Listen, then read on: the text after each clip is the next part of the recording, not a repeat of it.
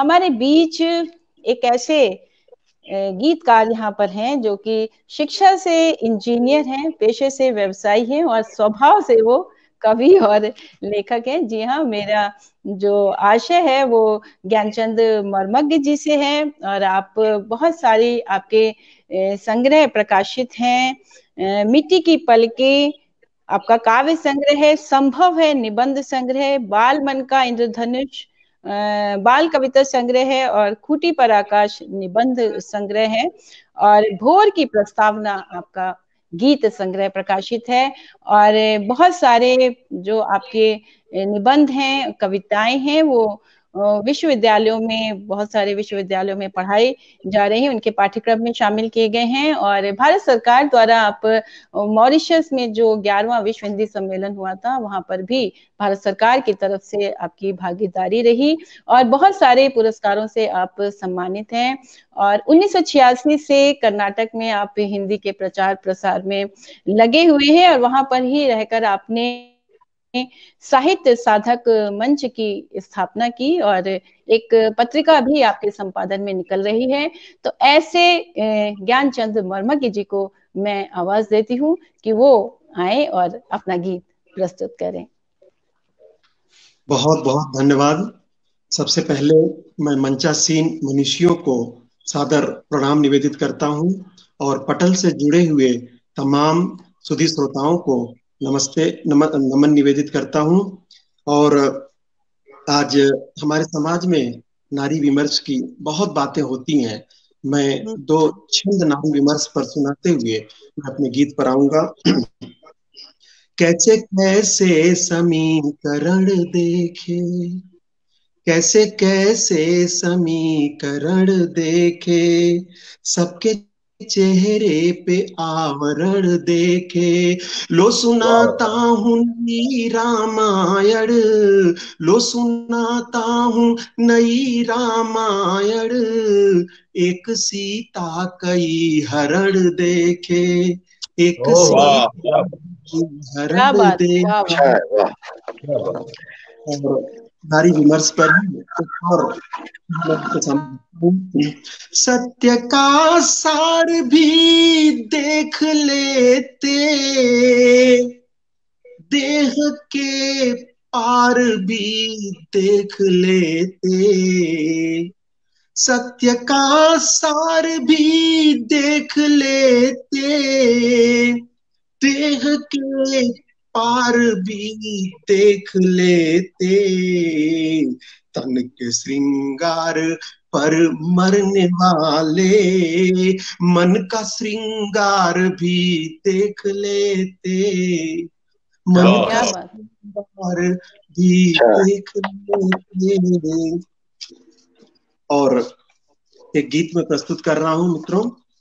आशा है आप पसंद करेंगे बदले हैं चेहरों के रंग। दर्पण को क्या दोष दूँ? खुद से खुद से ही है खुद की जंग। जीवन को क्या दोष दूँ? बदले चेहरों के रंग। दर्पण को क्या दोष दूँ? और गीत का पहला बंद देखें। दीवारों के जुर्म से रोती रही खिड़कियाँ। दीवारों के जुर्म से रोती रही खिड़कियाँ। पहली की लाज की लाज को दीवारों के जुर्म से रोती रही खिड़कियाँ दहलीज की लाज को छत ने दी फिर धमकियाँ। दरवाजे हैं इतने तंग दरवाजे हैं इतने तंग आँगन को क्या दोष दूँ? क्या बात है भाई वाह। वाह। बदले हैं चेहरों के रंग दर्पण को क्या दोष दूँ? और गीत का दूसरा बंद देखे। शब्दों ने खिलवाड़ की जब भी लिखी भूमिका। रंगों, रंगों में मतभेद था। तोड़ी गई तुलिका। बादल बादल निकले अपंग बादल निकले अपंग। दोष दूँ बादल ही निकले अपंग। सावन को क्या दोष दूँ? और गीत का अगला बंद देखें। उलझे हुए रास्ते चलते कहाँ तक भला? पाओ में भटकाव की बंधती रही श्रृंखला गंधों पर बैठे भुजंग गंधों पर बैठे भुजंग चंदन को क्या दोष क्या बात बदले हैं चेहरों के रंग दर्पण को क्या दोष दूँ। और अगला बंद देखें। कल तक यही फूल तो मन में उतर जाते थे। तितली, तितली के मनुहार पर सपनों को घर लाते थे तितली के मनुहार पर। सपनों को घर लाते थे अपनों का छूट गया संग। अपनों का छूट गया संग। मधुबन को क्या दोष दूँ। के रंग। और गीत का अंतिम बंद रखता हूँ। स्वागत। संज्ञाएँ प्रतिध्वनियों की।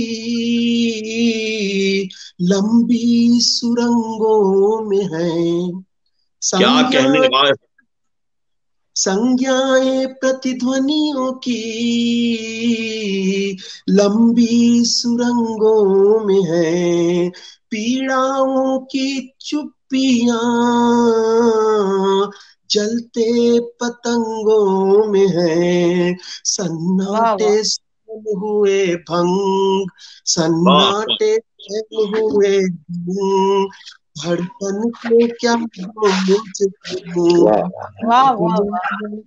बदले चेहरों के दर्पण को क्या दोष दूँ? खुद से ही है खुद की जंग। जीवन को क्या दोष दूँ? बहुत शानदार। बहुत सुंदर बहुत अगर समय हो तो जी जी जी स्वागत स्वागत जैसा आप लोगों को मालूम है हम सब कहीं न कहीं गाँव से हम सब की जड़ें जुड़ी हैं। गाँव तो बदल जाते हैं लेकिन गाँव की यादें कभी नहीं बदलती। मैं अपने गाँव की कुछ यादें लेकर आज पटल पर उपस्थित हूँ और आप सबसे उन यादों को साझा करना चाहता हूँ। वो मेरा बरगद वाला गाँव वो मेरा बरगद वाला गाँव। पोखर में हर रोज नहाए पोखर में हर रोज नहाए जामुन की वो छाव वो मेरा क्या बात गीत का पहला बंद देखें। रोज सवेरे आँगन में चिड़िया बाँचे चौपाई। गाय रंभाए मंत्र करे सूरज की अगुवाई। गाय रंभाए मंत्र करे जो सूरज की अगुवाई। और मुर्गे की हर बाग पे साधे मुर्गे की हर बाग पे साधे कौआ अपना काम ओ मेरा बरगद वाला बरगद वाला गाँव। अगला वाह वाह। बहुत तन पर हरियाली चिटक इतराए धरती के तन पर हरियाली, चिटक चिटक इतराए। शगुन लिए भौरों का राजा फूलों पर मडराए और स्वर्ग समान लगे वो माटी। स्वर्ग समान लगे वो माटी जहाँ पे रखे पाँव वो मेरा। बरगद गाँव गाँव। ओ मेरा वाला गाँव कच्चे घर के पक्के रिश्ते आँगन को महकाते संबंधों की मर्यादा को सांसों सांस निभाते और लालटेन जलते ही चंदा लालटेन जलते ही चंदा दूध दूजा ठाम। ओ मेरा बरगद वाला गाँव, ओ मेरा बरगद वाला गाँव। अगला बंद देखें। सपनों की वो लंबी कविता, उस दिन पड़ गई इतने बेबस हुए, एक कि हमसे और भूख पाई। भूख का बोझ नहीं जो पाई। संयम की वो नाव, वो मेरा बरगद वाला गाँव। और गीत का आखिरी बंद है। आँसू बन जब ढला पसीना जीवन के नर्तन में। चांदी का चम्मच घुस आया कांसे के बर्तन में। चांदी का क्या बात है क्या बात का आँसू बन जब ढला पसीना जीवन के नर्तन में चांदी का चम्मच घुस आया कांसे के बर्तन में। और हुए सभी धृत राष्ट्र न समझे हुए सभी धृत राष्ट्र न समझे कुटिल शहर का दांव ओ मेरा बरगद वाला गाँव। और पोखर में अरे रोज नहाए जामुन की वो छाव वो मेरा बरगद वाला गाँव वो मेरा बरगद वाला आप सबका बहुत बहुत धन्यवाद बहुत बहुत बहुत बहुत बहुत धन्यवाद।